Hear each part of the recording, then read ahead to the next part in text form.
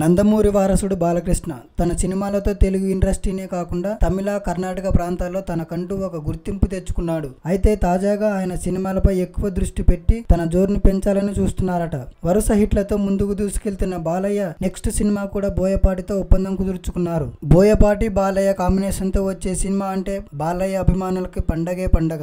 గతంలో కూడా వీరిద్దరి కాంబినేషన్లో వచ్చిన లెజెండ్ సింహ సినిమాలను బాలయ్య అభిమానులు ఎప్పటికీ మర్చిపోలేరు. అదే క్రమంలో బోయపాటి కూడా మంచి క్రేజ్ తీసుకొచ్చిన సినిమాలు. అయితే బోయపాటి తాజాగా జయ జానకి నాయక సినిమా తీశారు. ఈ చిత్ర ప్రమోషన్లో భాగంగా బాలయ్యతో తన తదుపరి సినిమా ఉంటుందని తెలిపిన బోయపాటి బాలయ్యతో సినిమా తీయడం లేదని తెలుస్తుంది. ఆయన ప్రస్తుతం మెగా ఫ్యామిలీపై కన్నేశాడని తెలుస్తుంది. తాజాగా మెగాస్టార్ రామ్ చరణ్ తేజ్తో బోయపాటి సినిమా తీసేందుకు రెడీ అయ్యారట. అయితే ప్రస్తుతం చెర్రి రంగస్థలం సినిమా చేస్తున్నారు. ఈ సినిమా సంక్రాంతి పండుగ కానుకగా విడుదల కానుంది. ఈ సినిమా తర్వాత కొరటాల సినిమా చెర్రి పక్కన పెట్టి బోయపాటి సినిమా సినిమాకు గ్రీన్ సిగ్నల్ ఇచ్చినట్లు తెలుస్తుంది. దీంతో బాలయ్య సినిమా కన్నా ముందే బోయపాటితో ఒక హిట్ కొట్టాలని రామ్ చరణ్ ప్లాన్ వేశారని తెలుస్తుంది. ఈ వీడియో మీకు నచ్చినట్లయితే లైక్ చేయండి మరియు షేర్ చేయండి. మరిన్ని అప్డేట్స్ కోసం చూస్తూనే ఉండండి న్యూస్ నైన్ టీవీ.